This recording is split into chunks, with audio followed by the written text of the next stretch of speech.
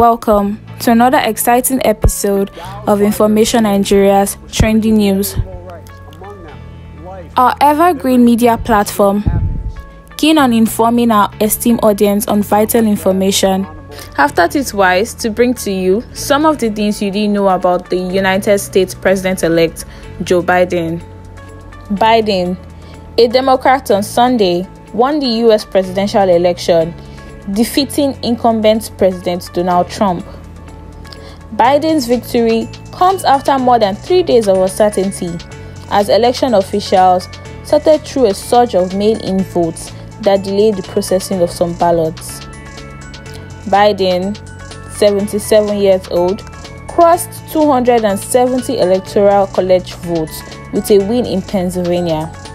The result makes Trump the first one term president since 1992, while Biden will be the oldest president ever to serve.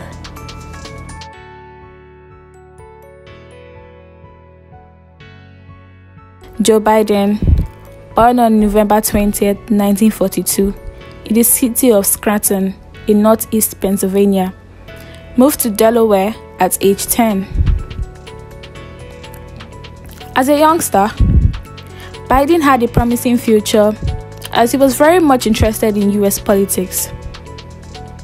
Although he briefly worked as an attorney before delving into the field. In 1968, Biden bagged a law degree from Syracuse University College of Law, grabbing the 76th position in his class of 85. He was called to the Delaware Bar in 1969 and he was first elected as the US Junior Senator in 1972 at the age of 29. Shortly after he won his first Senate race, tragedy struck as he lost his first wife, Neilia Hunt, and infant daughter, Naomi Christina, in a car accident. Biden's sons, Bill and Hunter, respectively, suffered a broken leg and a minor skull fracture, but doctors predicted they would recover fully. In 1975, he met his second wife, Jill Tracy Jacobs, on a blind date, and they got married two years later. The couple welcomed their daughter, Ashley Blazer, in 1981. Biden became the fifth youngest U.S. senator in history, as well as Delaware's longest serving senator. He ran for president in 1988, but he dropped out of the race, saying that his candidacy had been overrun by the exaggerated shadow of his past mistakes. This came after he admitted to plagiarizing a speech by the then leader of the British Labour Party, Neil Kinnock. Early in his career, Biden supported the Southern segregationists in opposing court ordered school busing to racially integrate public schools. And as chair of the Senate Judiciary Committee in 1991, he oversaw Clarence Thomas's Supreme Court confirmation hearings, and he was criticized for his handling of Anita Hill's testimony. Hill had brought allegations of sexual harassment against Thomas, and Biden failed to call additional witnesses who could have backed up her claims. Although his 2008 presidential campaign never gained momentum, Democratic nominee Barack Obama selected him as his running mate, and Biden went on to serve two terms as the 47th Vice President of the United States. Obama referred to him as the best vice president America's ever had. The eight years he spent working in the White House, along with Obama, permitted him to stake claim to much of his legacy, including passage of Affordable Care Act, as well as the stimulus package and reforms enacted in response to the financial crisis. The passage of the Affordable Care Act and health care remains dear to him because it is an important topic which he often discusses in the context of his family personal issues.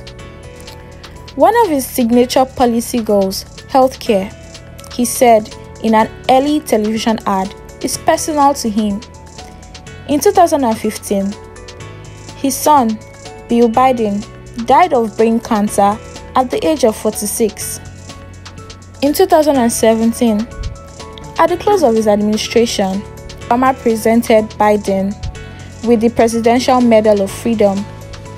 Two years later, the 77 year old began his campaign for US president, and he is the 2020 Democratic presidential nominee.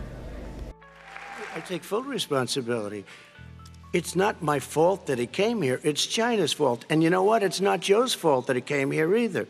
It's China's fault. They kept it from going into the rest of China for the most part, but they didn't keep it from coming out to the world, including Europe and ourselves. What I would say is I'm going to shut down the virus, not the country. It's his ineptitude that caused the, caused the country to have to shut down in large part. Why businesses have gone under, why schools are closed, why so many people have lost their living, and why they're concerned. Those other concerns are real. That's why he should have been, instead of in a sand trap in his golf course, he should have been negotiating with Nancy Pelosi and the rest of the Democrats and Republicans about what to do about the acts they were passing for billions of dollars to make sure people had the capacity. I have not taken a penny from any foreign source ever in my life. We learned that this president paid 50 times the tax in China, has a secret bank account with China, does business in China, and in fact is talking about me taking money.